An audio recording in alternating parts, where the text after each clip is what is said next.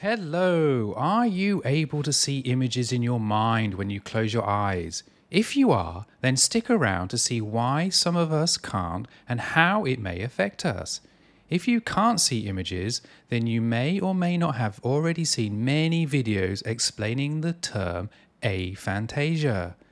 Aphantasia relates to the mind's eye, or how I like to call it, the mind's computer screen. The human body is very complex, and the brain is no exception. It helps us to experience the world via imagination, emotion, and memory. There is no catch all explanation for aphantasia because, like with most things that are do with the human body, everything is on a spectrum. We all know that we have five senses, the senses we use to navigate the world.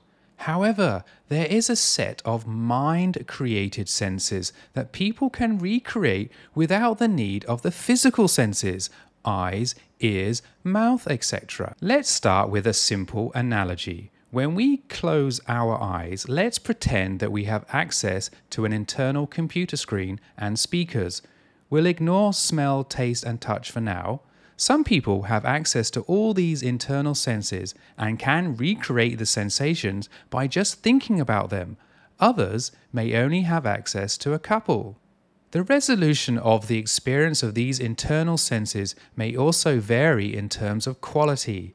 Take, for instance, our internal computer screen. Some people can imagine detailed, colorful 2D images. Others may be able to have 3D objects that can be manipulated.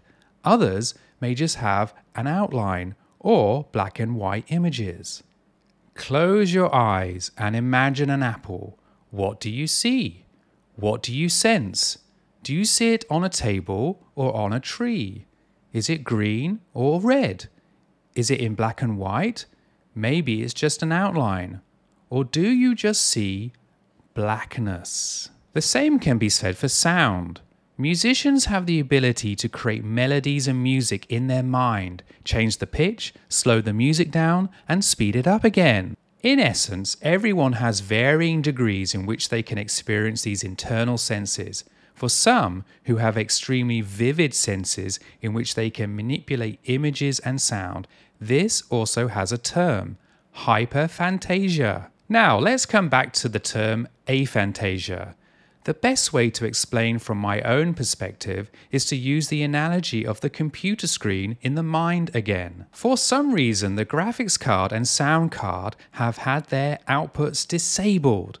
This also includes the other senses. However, I know information is going to these graphics and sound cards because I can almost sense the information happening, but just can't bring it to the screen or speakers.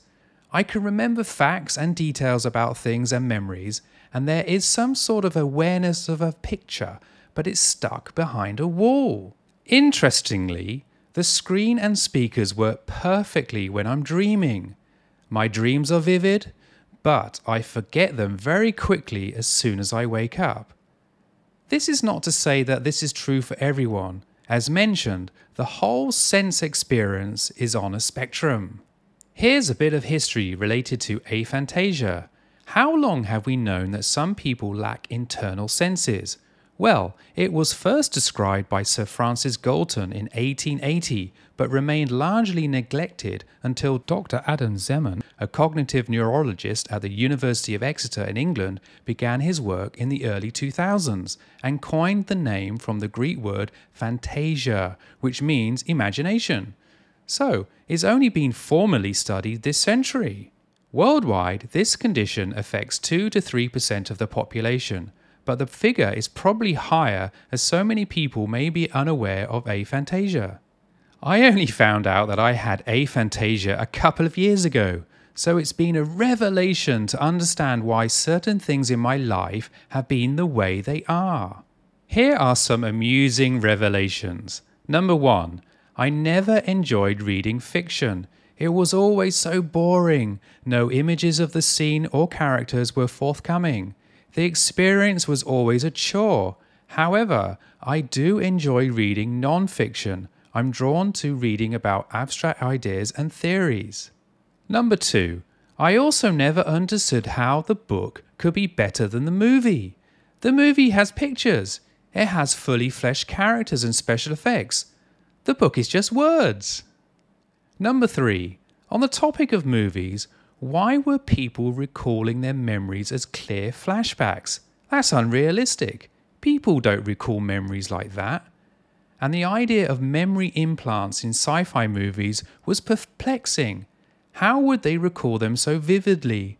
Funnily enough, all my favourite movies feature memory implants Blade Runner, Total Recall, Dark City, Matrix, and Inception.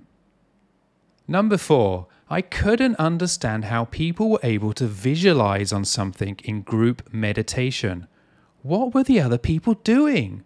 I once told a Buddhist monk that I literally fell asleep through the practice. And number five, counting sheep to fall asleep was a non starter. I just couldn't see the sheep. As mentioned before, there is not one type of aphantasia, it's on a spectrum. Many people don't feel hindered by it, although others believe they failed courses in school because of it. For me, the saddest part is knowing that I can't recall in pictures the special days of my life, such as my wedding day and when my son was born. Knowing that I lack the ability makes me quite jealous. Thank goodness for photographs and video. Okay, let's go on to some positives. Having aphantasia does not mean that you lack creativity. Many famous creative people have it, including Ed Catmull, co founder of Pixar, Richard Herring, the British comedian and podcaster, Penn Jillette, the American magician and television personality, and many more. So, what are the advantages? Here are a few.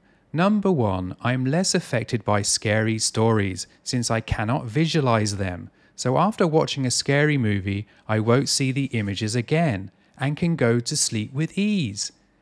Number two, I fall asleep at night very quickly. Number three, I don't get grossed out by mentioning disgusting things at the dinner table. People can talk about a squashed bug with pus oozing out of it, and I can happily carry on eating my lasagna. Number four, it probably contributes to my lack of tendency to live in the past or harbour regret. Is there a cure? Not at the moment, as scientists do not yet know the exact cause of aphantasia. How to move forward. Check for yourself with the VVIQ, the Vividness of Visual Imagery questionnaire. You can also join the Aphantasia Network and Facebook group. All links provided in the description. Please leave a comment below if you want to ask or comment on the topics discussed.